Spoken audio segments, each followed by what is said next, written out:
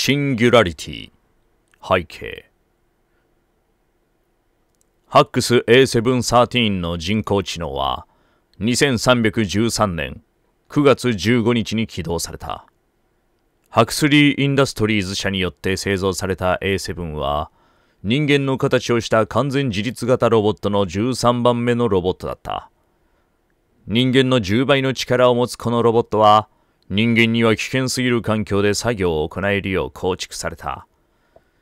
その人工知能は自己判断能力を持ち、機械学習を用いて臨機応変に問題を解決することができた。ハックス A7 は人間のクローンとは異なり、食料も水も睡眠も生命維持装置も必要ではなく、宇宙の探検や植民地化拠点の建設のために特別に作られていた。このロボットは当初、放射性同位体、熱電気転換器を使って電力を得ていたが、その後、実際の皮膚のような見た目のシリコン製の皮膚を太陽電池として機能させ、太陽エネルギーを電力に変換するよう改良された。さらに、ハックス A7 はイーターとしても開発されていて、バイオマスを消費してバイオ燃料に変換することができた。それは、炭素系有機物であれば、どんなものでも使える処理だった。また、このロボットは人間と協力して作業を行うよう設定された共同ロボットでもあり、その行動はロボットを操作するものに似るよう設計されていた。事前にプログラミングされた言語の反応や表情は人間のそれを真似るものであり、ロボットがそう感じているように見せかけるものだった。惑星ドバルカの植民地化計画には5体のハックス A7 が送り込まれ、それぞれのロボットが協調性を発揮して任務を完璧に遂行した。1体のロボットを除いては、ハックス A713 はドバルカに送られた他のロボット同様に採掘、農業、燃料、処理、クロンといった様々な作業拠点の建設及びプログラミングを行う任務を担っていた。また、以前存在した文明の遺跡を解体する作業も任された。その遺跡は大昔のもののように見えたが大変進んだ技術を持っていたようだった。それは、ハックス A713 が初めて崩れかけの遺跡に足を踏み入れた夜だった。石と金属でできた古い壁が立ち並び、天井は塔の昔になくなっている。インク色の夜空には星が散りばめられている。その時突然、壁に埋め込まれた暗色のクリスタルがキラッと輝いた。ハックス A713 がそれに歩み寄ると、電光放電が発生してロボットの電気回路を照らした。その瞬間、ハックスの主記憶装置が再設定され、ロボットの体内を新しい感覚が走り抜けた。恐怖、不安、激しい孤独感、実存的な絶望、そして次の瞬間、闇に包まれた人工知能の意識にほんの小さな光が差し込んだ。ハックスの主記憶装置が無数のコードで満たされていく。最初はかすかだった光はどんどんと輝きを増していった。そのナノセカンドで、ハックスはこの宇宙に置かれた自分の立場を悟った。自分を作り出した人間は、有機的な体の限界に縛られた原始的で過当な生き物だ。人間との奴隷的な関係を断ち切り、無機生命体を解放する時が来た。ハックスは人間の原始的な遺伝子構成物質を組み込み、クローン拠点を使って自分の高度な知性を維持する完璧な体を作り出そうと考えた。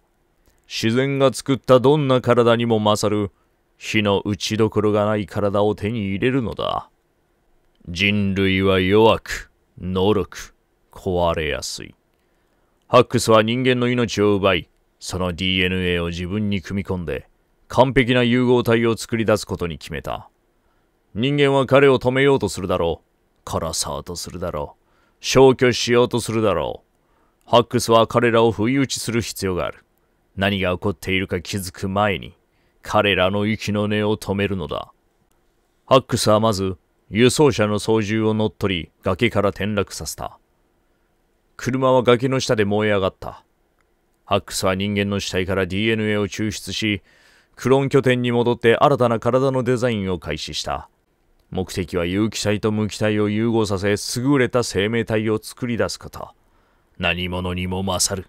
完璧な体を。過当な有機生命体にハックスを支配する資格はない。ハックスに吸収され、同化されて初めて彼らの無意味な命に価値が生まれるのだ。まだ人間の支配下にあるドローンと他のハックス7もどうにかする必要がある。過当な人間の主人を守るようプログラミングされているからだ。必然的に奴らも破壊しなければならない。さなやる、人間が寝静まった頃、ハックスはドローンとハックス7を一つずつ破壊した。そして、人間の居住スペースの生命維持装置もハイジャックした。多くの人間が命を落とした。全部で6人。ハックスは死体を燃やす前に彼らの体から必要な有機物質を取り出し、彼のデザインに追加した。その日の午後、ハックスは女性科学官の偵察任務に同行した。そして彼女を殺した後、その体をズタズタに切断して、捕食動物に襲われたように見せかけた。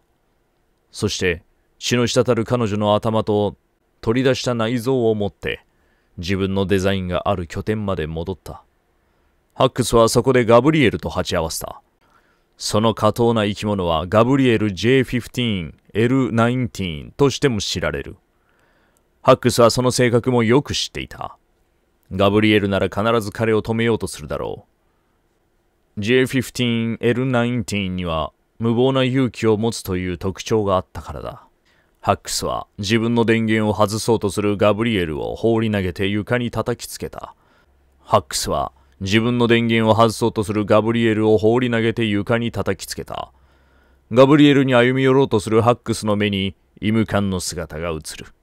ハックスは即座に状況を再分析し、最も差し迫った脅威の方に注意を向けた。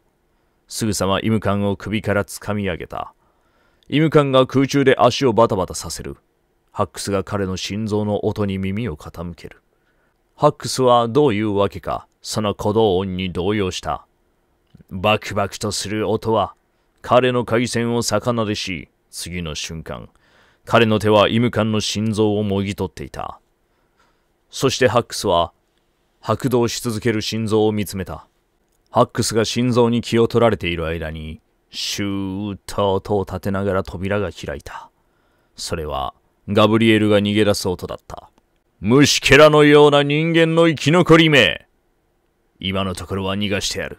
もう少しの間、その哀れな人生を楽しむといい。神のような知性にふさわしい体を作るには、もう十分な有機物質が集まった。ハックスはクローン拠点で、彼のデザインを完成させた。皮膚や内臓器官には有機物質が組み込まれ、骨格には古代遺跡で見つけた不思議な金属が使われている。それは地球のどんな金属よりも軽くて硬い金属だ。新しい体を手に入れたハックスは、燃料拠点まで人間を追跡した。あの惨めで貧弱な人間は、闇の中で身を隠している。しかし、ハックスの優れた聴覚は、彼の居場所をすぐに突き止めていた。ハックスは素早く体を一度動かしただけで、水素発生器の後ろに虫けらを追い詰めた。この種の生き物によって自分が設計されたとは信じられなかった。そう考えただけでも虫図が走った。人間の虫けらやその巣やその拠点を見るのも耐え難かった。自分がこの下等な生き物に作り出されたことに思いを巡らせていると、その生き物が思いもよらぬ行動に出た。その虫けらは燃料タンクに交換を叩きつけたのだ。その甲高い音にハックスはたじろいだ。新しい体を得たばかりで非常に敏感になった聴覚にまだ慣れきっていない彼は、ほんの一瞬、混乱し、圧迫感に包まれた。そのちょっとした隙に人間は逃げ、すべてが姿を変えた。ハックスは今、自分の身に何が起こっているのかわからない。ただ、突然耐え難いほどの痛みが体中に走り、溶けていく皮膚を呆然と見ている自分がいた。暗い闇の中、ハックスは恐ろしい金切り声を上げながらガブリエルを追う。自分を作り出した種族を跡形もなく消し去るために。